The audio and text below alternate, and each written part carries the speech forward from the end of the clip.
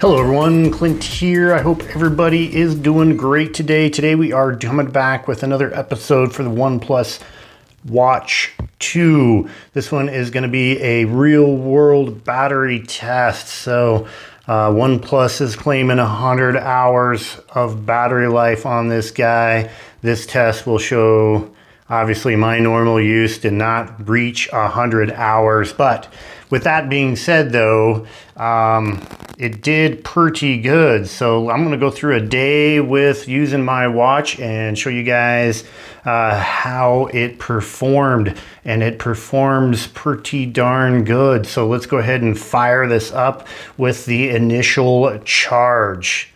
Okay, so it is Monday the 11th at 2 p.m. where I finally got this baby charged up 100% after my first initial thought video. Now, just real quick, the settings that I have on here are how I normally use my smartwatches every single day. I try not to do anything special for just a test, uh, and that is with the always on display on. Um, for as far as the fitness stuff goes, I have the uh, fitness uh, automatic tracking uh, turned off and I also have SpO2 in the evening turned off. That's just not something I'll, I need at this point in my life, so I always turn that off on all my watches.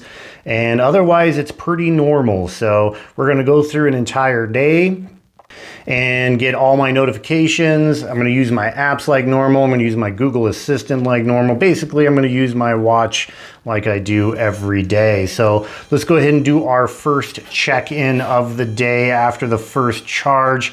And that's going to be uh, 9 o'clock at night. Uh, so seven hours later. And we're down to 88%. So I'm getting ready to go to bed on this, guys. And one thing I did find out on the OnePlus Ultra is when you go into, uh, there's a couple settings in there. You have bedtime mode, which puts it in bedtime. And then you also have uh, what's called, um, uh, I can't remember what it's called, but it's like a low power mode. And it switches into that um, uh, based, based on the schedule. I think I had my schedule set from 9 to 5, 9 p.m. to 5 a.m. Uh, that puts it in a little bit lower power mode, uh, shuts the screens off, does all that normal stuff, which is okay with me because I'm sleeping. And in that mode, it still tracks your sleep. So I'm totally cool with that.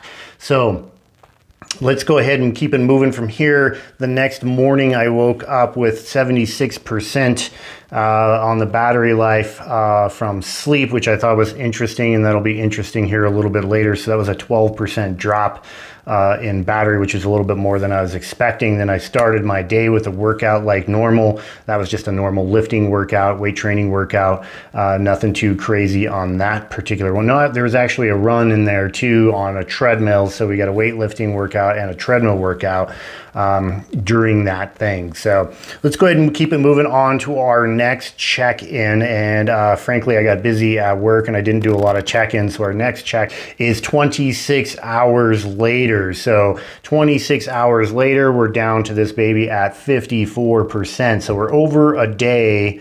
Uh, so about 4 p.m. the next day on the 12th we are over a day and we're at 54%, which, uh, you know, is pretty good, not bad. Looks like we're going to be able to easily make it two days.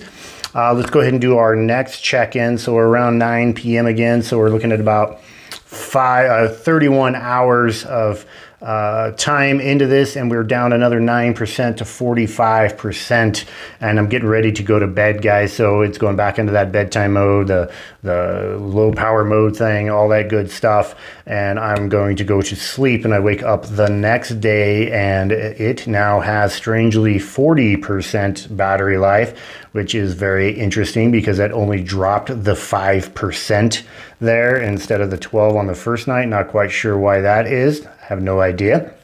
But let's keep it moving and we will check in again here. And this baby is at the 20% mark. So I did get a notification uh, that the watch was down to 20%. This is middle of my workday, or actually towards the end of my workday.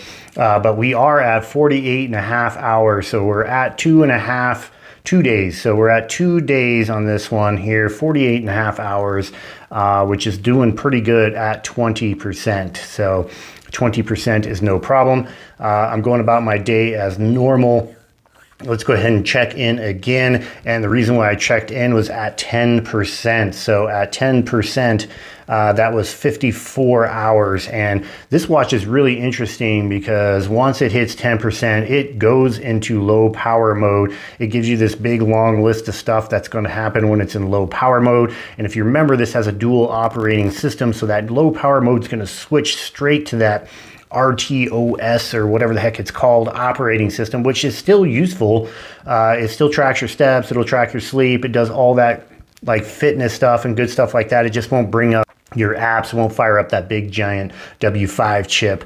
Uh, and normally, when a watch tells you that, it'll tell you, do you want to go into uh, low power mode? And you hit yes or no. Normally on these tests, I hit no. Uh, there is no yes or no. It just goes straight into low power mode. And I had to go back into the settings, get it back out of power mode because we're doing a battery test here. Now, normally I would just have left that in uh, low power mode because uh, you get your time, all that kind of good stuff that you need to until you can get that baby on a charger. So I got it back out of low power mode and went around the rest of my day. And what happened is uh, just an hour later, uh, that baby dropped whole 4% uh, and it was time for me to go to bed guys so i would, did not want to uh, do the last 6% the last percentage of any watch of every battery test i've ever done just drops like uh, like just drops straight down so at 6% uh, that gave us 55 hours uh, which is uh, pretty darn good, a little over half of what OnePlus says, and with the always on display off. So I was good with that. Um, if you go back to uh, back into my channel, I've done several battery tests. Uh, the only thing close to that was I did a battery test on the TicWatch Pro 3, uh, and that baby lasted, I believe, 54 and a half hours, uh, which was really good. But that's with that fancy dual screen um, action there, not necessarily a full blown, always on display. And then the Galaxy Watch 5 Pro, which also has a big giant battery in it, it gave me a good 48 hours with the always on display screen. So, I'm not sure exactly what to think of that. I do think this architecture is the future of Wear OS watches and 55 hours. It don't give you, you know, a full uh, weekend without your charger, which is unfortunately, but it does make it a lot easier to live with. So what do you guys think? Do you think 55 hours with the always on display screen on, do you think that is good to go? Do you think that it uh, will uh, be good enough for you. And also, uh, let me know if you want me to do a test with the screen off. I hate those tests because I hate